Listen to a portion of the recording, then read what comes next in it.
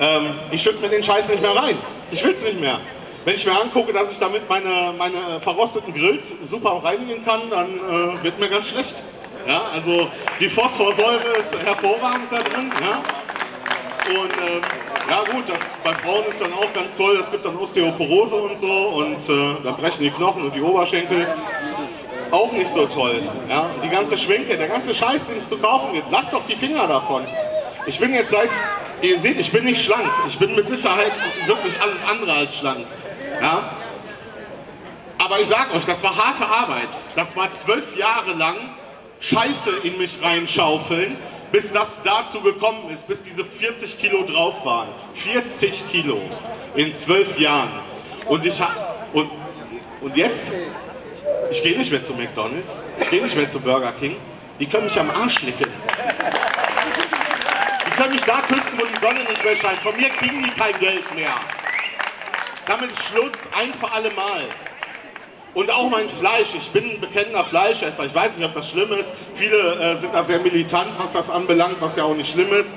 Äh, ich weiß, dass Fleischessen nicht gut ist für den Planeten. Aber meinen Fleischkonsum habe ich eingeschränkt und ich gucke schon, wo ich mein Fleisch kaufe und was das für Fleisch ist, wo es herkommt. Und ich kaufe eben nicht mehr nur ein Hühnerbrustfilet, weil es so schön ist, weil ich dafür dann nichts mehr äh, häuten oder entknochen muss oder entknorpeln muss, Nein, dann kaufe ich lieber ein ganzes Huhn ja, und mache es lieber selber, bevor nämlich irgendwelche Leute in Afrika diese Hühnchenreste ja, tiefgefroren geliefert bekommen und da auf irgendwelchen Märkten verkauft mit unterbrochenen Kühlketten. Geht auch nicht. Da geht der Scheiß nämlich hin, weil wir ja so verwöhnt sind und nur noch Filets essen. Ja, das ist, es fängt bei jedem von euch selber an. Ihr könnt, ihr könnt den Planeten ändern, wenn ihr wollt. Und äh, es ist gar nicht so schwer. Ich habe wirklich gedacht, so, boah, zwei Wochen, kein Meckes, ey. Mann, jetzt könntest du mal wieder. Heute, wenn ich daran vorbeifahre und rieche die komische Fritteuse, da wird mir schlecht. Da wird mir echt schlecht. Ich brauche das nicht mehr. Und das ist wirklich gut so. Ja? Und ihr könnt wirklich alle möglichen Läden boykottieren. Ich war letztens noch im Urlaub, ich war auf Sylt, auf der Insel der Reichen faszinierend. Ich habe da ganz, ich habe da so viel Armut gesehen, dass äh, es mir wirklich das Gesicht dahin geschlagen hat. Ja, also da gibt es Leute, die fahren dahin zum Arbeiten, Saisonarbeiter, und die verdienen so wenig, weil die Wohnungen da so teuer sind, die können dann nicht mehr sich die Wohnungen finanzieren, die pennen da am Strand. Die gehen da Flaschen sammeln. Ich meine, das machen sie hier auch. Ja, aber wenn ich überlege, auf Sylt 30, äh, 30 Quadratmeter Apartment, 750 Euro kalt, es geht schon gut ins Geld. Ja, und äh, die Armut ist überall, der Reichtum ist auch überall. Aber selbst gegen diese reichen Leute dürfen wir keinen Groll haben. Die reichen Leute, die wissen nur noch gar nicht, dass es denen so schlecht geht.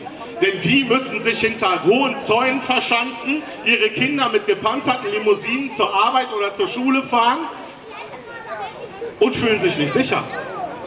Ich fühle mich zwar auch nicht sicher, aber ich fühle mich sicherer als die, hundertprozentig. Ich muss meine Türe nur einmal abschließen, wenn überhaupt. Manchmal steht sie sogar offen. Ja? Und das ist wirklich äh, eine Sache, es fängt alles hier oben an. Es fängt wirklich hier oben im Kopf an und es muss ein Aufwachen durch die Gesellschaft gehen. Das ist ganz wichtig. Wir müssen den Leuten einfach mal klar machen, was Sache ist. Auch unsere Medien belügen und bescheißen uns jeden Tag. Der ARD-Fernsehrat oder Fernsehbeirat, ich weiß gar nicht genau, wie man es nennt, hat ja die ARD selber, der Pro Programmbeirat, vielen Dank, der hat ja die ARD selber kritisiert für ihre tendenziell russlandfeindliche äh, Berichterstattung aus der Ukraine. Das ZDF ist auch keinen Deut besser. Genauso wie jeder andere äh, öffentlich-rechtliche Sender. Du darfst gerne was sagen. Die Welt, äh, ihr kennt die Welt, ähm, hat, jetzt, hat, jetzt, dazu geschrieben, ähm, dass der Programmbeirat wohl Russland finanziert sei. Ja, das ist cool. Ich dachte eigentlich immer, das wird aus unseren Rundfunkgebühren finanziert, der ganze Spaß. Und ich frage mich allen Ernstes, warum es heute in diesem Rat nicht einen einzigen Vertreter aus der Bevölkerung gibt, nämlich dem Zuschauer. Das ist zum Kotzen. Was sind denn das für Gremien? Das ist undemokratisch bis ins Letzte. Aber die Leute lassen sich das einfach gefallen. Ja, die zahlen einfach weiter GEZ und die GEZ oder Rundfunkbeitrag, GEZ heißt ja nicht mehr. Ja, aber einfach mal zwei Monate oder drei Monate nicht zahlen. Lass doch Mahngebühren drauf tun. Ja, oder gar nicht zahlen. Gut, das ist dann wieder so eine Sache, da kommst du hinterher manchmal vielleicht in rechtliche Schwierigkeiten. Ja, wir haben da auch schon die Gegenbeispiele gesehen. Also da gab es dann echt übelste Geschichten. Ja? Aber ihr könnt das trotzdem einfach machen. Einfach mal drei Monate nicht zahlen, dann fehlt denen die Knete. Die hauen euch 8 Euro Mahngebühr drauf. Ja, dann zahlt er einfach ohne die Mahngebühr. Das mache ich regelmäßig so, weil ich da keinen Bock mehr drauf habe. Ich habe es eine Zeit lang nicht gezahlt, ich musste es nachzahlen. Ja, ich habe da definitiv noch ein paar Gesetze geblättert und eigentlich kommst du nicht drum rum. Es ist ein gesellschaftlicher Vertrag, der Rundfunkbeitrag, Staatsvertrag und der hat rechtliche Relevanz. Ja, ähm, ja es ist, ist, ein kritisches Thema. Ja, aber damit tut ihr denen genauso weh. Einfach mal drei Monate lang nicht zahlen. Und am besten drei Monate lang mal nicht gucken die ganze Grütze. Vielleicht nach 23 Uhr einschalten, mal Arte gucken und vielleicht mal ein paar gute Dokus gucken. Wie zum Beispiel Todesstaub von Frieda Wagner, der nur einmal ausgestrahlt wurde und danach war er weg, der Film. Weil er das Elend in der Welt, nämlich im Irak gezeigt hat, die Kinder von Basra, wie die auf die Welt kommen, mit übelsten Mutationen, die einfach überhaupt gar nicht mehr lebensfähig sind teilweise.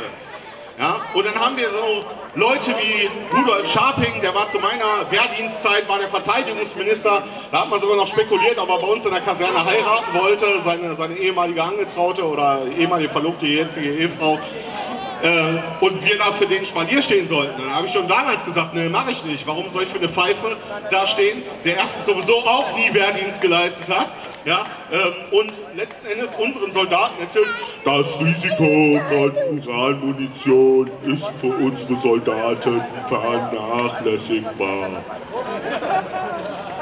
Das haben wir gesehen, wie vernachlässigbar das ist. Weil heute noch im Kosovo und heute noch im Irak die Leute daran sterben. Und wo kommt die Grütze her? Aus Düsseldorf von Rheinmetall. Und da müssen wir hin. Den müssen wir nämlich auch zeigen, wo es lang geht.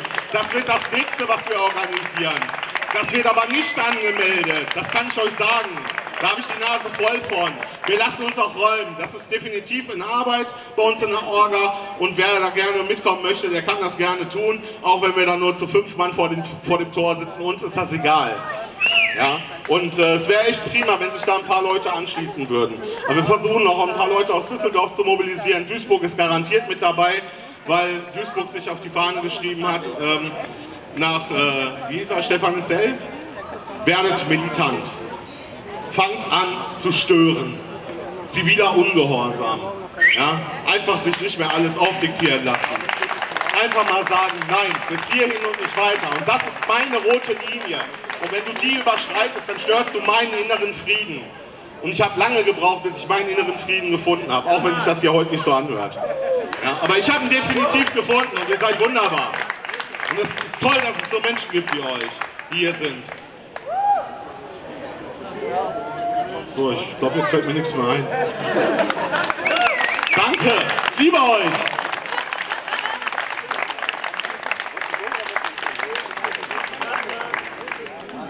mit dem Stuhl rüber.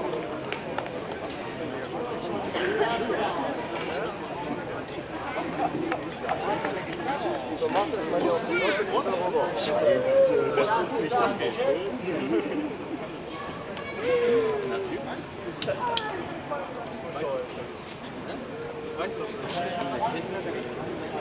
Wir sind ja eigentlich der BGE, Bundeseinheitliches Gesamteinkommen. Und wenn ich mir da mal vorstelle, was überhaupt hier passiert, weiß einer von euch, wie viele Bauern an Rente bekommen, die jeden Monat ihren Beitrag bezahlen das ist irre. Die bekommen zum großen Teil gar nichts. Sind 65 Jahre alt, können ihren Hof aber nicht abgeben und aufgrund dessen bekommen die gar keine Rente. Das heißt, wir haben seit den 50er Jahren eine Hofabgabeverordnung in der Rentenverordnung für Bauern. Und wer sich das gestern Abend mal angeguckt hat, da steht ein 77-jähriger Bauer mit seiner 75-jährigen Frau und machen den ganzen Hof. Der Bauer